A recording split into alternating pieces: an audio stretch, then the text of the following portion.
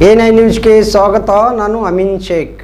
ಹೆಂಡತಿಯ ಅನೈತಿಕ ಸಂಬಂಧಕ್ಕೆ ಅಡ್ಡಿ ಬಂದ ಗಂಡನನ್ನು ಬರ್ಬರವಾಗಿ ಹತ್ಯೆಗೈದಿರುವ ಇಬ್ಬರು ಆರೋಪಿಗಳ ಬಂಧನ ಮಾಡಲಾಗಿದೆ ಎಂದು ಎಸ್ಪಿ ಎಚ್ಡಿ ಆನಂದ್ ಕುಮಾರ್ ಹೇಳಿದರು. ವಿಜಯಪುರ ನಗರದಲ್ಲಿ ನಡೆದ ಮಾಧ್ಯಮಗೋಷ್ಠಿಯಲ್ಲಿ ಮಾತನಾಡಿದ ಅವರು, ಜಿಲ್ಲೆಯ ಬಸವನ ಬಾಗೇವಾಡಿಯ ಇಂಗಳೇಶ್ವರ ರಸ್ತೆಯ ಬಳಿ ಜಕರಾಯ್ ದಳವಾಯಿ ಹತ್ಯೆಗೈದು ಸುಟ್ಟು ಪರಾರಿಯಾಗಿದ್ದರು. ಇನ್ನು ಮೃತಪಟ್ಟಿರುವ ಜಕ್ರಾಯ್ನ ಹೆಂಡತಿ ಜಯಶ್ರೀ ದಳವಾಯಿ ಡೋಂಗ್ರಿ ಸಾಬ್ ಬೊಮ್ಮನಹಳ್ಳಿ ಬಂಧಿತ ಆರೋಪಿಗಳು. ಅಲ್ಲದೆ ಮೃತನ ATM card, bike licence, PAN card ಹತ್ಯೆಗೆ ಬಳಸಿದ ಕೊಡಲಿ ಬಾವಿಯಲ್ಲಿ ಎಸೆದಿದ್ದರು. ಇದೀಗ ಆರೋಪಿಗಳನ್ನು ಬಂಧಿಸಿ ಮುಂದಿನ ಕಾನೂನು ಕ್ರಮ ಕೈಗೊಳ್ಳಲಾಗಿದೆ ಎಂದರು. ಒಳಗೊಂಡಂತಹ ಒಂದು ವಿಶೇಷ ತಂಡವನ್ನು ನಾವು ರಚನೆ ಮಾಡಿದ್ವಿ. ಮತ್ತು ಈ ವಿಶೇಷ ತಂಡ ಅತ್ಯಂತ ಯಶಸ್ವಿಯಾಗಿ ಕಾರ್ಯಾಚರಣೆಯನ್ನು ನಡೆಸಿದೆ, ತನಿಖೆಯನ್ನು ನಡೆಸಿದೆ. ಈ ತನಿಖೆಯನ್ನು ಯಶಸ್ವಿಗೊಳಿಸಿ ಈ ವ್ಯಕ್ತಿ ಏನು ಮಿಸ್ಸಿಂಗ್ ಆಗಿದ್ರು, ಇವರ ಯಾವುದೇ ಕುರುಹು ಸಿಗದಂತೆ ಇವರನ್ನು ಕೊಲೆ ಮಾಡಲಾಗಿದೆ ಅನ್ನುವಂತಹ ಒಂದು ವಿಚಾರ ಬೆಳಕಿಗೆ ಬಂದಿದೆ. ಮತ್ತು ಈ ವ್ಯಕ್ತಿಯ ಕೊಲೆ ಮಾಡಿದ ನಂತರ ಅವರ ದೇಹವನ್ನು ಬಸವನ ಬಾಗೇವಾಡಿ ಠಾಣಾ ವ್ಯಾಪ್ತಿಯ ಒಬ್ಬರು ಆವಟಿ ಅನ್ನುವಂತಹ ಅವರ ಒಂದು ತೋಟದ ಬಳಿ ಅವರ ದೇಹವನ್ನು ಸುಡಲಾಗಿತ್ತು.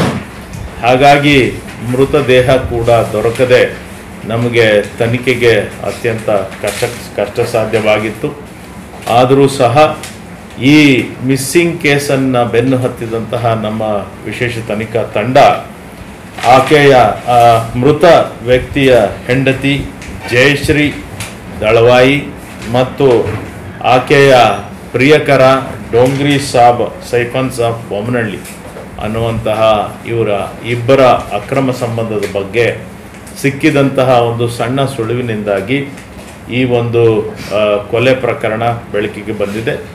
ಇವರಿಬ್ಬರ ಸಲಿಗೆಯ ನಡವಳಿಕೆ ಬಗ್ಗೆ ಕೆಲವು ಕ್ಲೂಸ್ ಸಿಕ್ಕಿದಂಥ ಹಿನ್ನೆಲೆಯಲ್ಲಿ ತನಿಖೆಯನ್ನು ಆ ಲೈನ್ನಲ್ಲಿ ನಮ್ಮ ತನಿಖಾ ತಂಡ ತೆಗೆದುಕೊಂಡು ಹೋಗಿತ್ತು.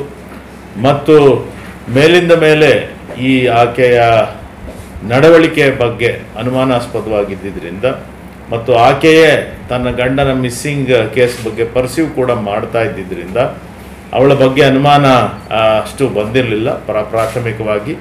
ಆದರೆ ತದನಂತರ ಅವರನ್ನ ತೀವ್ರವಾದ ತನಿಖೆಗೆ ಒಳಪಡಿಸಿದ ನಂತರ ನಾವರಿಬ್ಬರೂ ಕೂಡಿ ಅವನ್ನ ಹೆಗಡೆ ಆಳದಿಂದ ಅವನ ಮೇಲೆ ಅಟ್ಯಾಕ್ ಮಾಡಿ, ಅವನನ್ನು ಕೊಲೆ ಮಾಡಿ. ತದನಂತರ ಬಸವನ ಬಾಗೇವಾಡಿ, ಇಂಗ್ಲೇಶ್ವರ ರಸ್ತೆಯ ಔಟಿ ಅನ್ನುವಂಥವರ ತೋಟದ ಬಳಿ ಅವನ ಮೃತದೇಹವನ್ನು ಒಂದು ದ್ವಿಚಕ್ರ ವಾಹನದಲ್ಲಿ ಹೆಗಡೆ ಹಾಳದಿಂದ ತೆಗೆದುಕೊಂಡೋಗಿ ಅಲ್ಲಿ ಆ ದೇಹವನ್ನು ಕಟ್ಟಿಗೆಗಳನ್ನು ಹಾಕಿ ಒಂದು ಈ ಕಬ್ಬಿನ ತೋಟದ ನಡುವೆ ಅದನ್ನು ಸುಟ್ಟಾಕಲಾಗಿತ್ತು.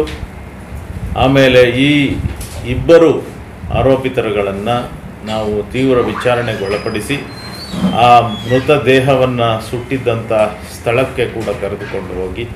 ಅಲ್ಲಿ ಆ ಮೂಳೆಗಳ ತುಂಡುಕು ತುಣುಕುಗಳು ಏನಿದ್ದಾವೆ, ಅವುಗಳನ್ನು ಕೂಡ ನಾವು ಈಗಾಗಲೇ ಸಂಗ್ರಹಣೆ ಮಾಡಿಕೊಂಡಿದ್ದೇವೆ. ಮತ್ತು ತೀವ್ರ ತನಿಖೆಗೆ ಒಳಪಟ್ಟ ನಂತರ ಇವರು ಅವರೇ ಕೊಲೆ ಮಾಡಿ ದೇಹವನ್ನು ಸುಟ್ಟಾಕಿರುವುದಾಗಿ ಒಪ್ಪಿಕೊಂಡಿದ್ದಾರೆ. ಮತ್ತು ಆ ಕೊಲೆಗೆ ಬಳಸಿದಂತಹ ಏನು ಕೊಡ್ಲಿ ಇತ್ತು ಮತ್ತು ಈ ಮೃತ ವ್ಯಕ್ತಿಯ ಏನು ವಸ್ತುಗಳಿದ್ದವು ಅವುಗಳೆಲ್ಲನೂ ಕೂಡ ಅಲ್ಲೇ ಇದ್ದಂತಹ ಒಂದು ಬಾವಿಯಲ್ಲಿ ಎಸೆಯಲಾಗಿತ್ತು. ಆ ಬಾವಿಯನ್ನು, ನೀರನ್ನು ಕೂಡ ನಾವು ತೆರವುಗೊಳಿಸಿ, ಆ ಬಿ ಬಾವಿಯಲ್ಲಿ ಇದ್ದಂತಹ ಎಲ್ಲ ಮೃತ ವ್ಯಕ್ತಿಗೆ ಸಂಬಂಧಪಟ್ಟಂತಹ ಮತ್ತು ಕೊಲೆ ಮಾಡಲು ಬಳಸಿದಂತಹ ಶಸ್ತ್ರಾಸ್ತ್ರಗಳನ್ನು ಎಲ್ಲನೂ ಕೂಡ ನಾವು ವಶಪಡಿಸಿಕೊಂಡಿದ್ದೇವೆ.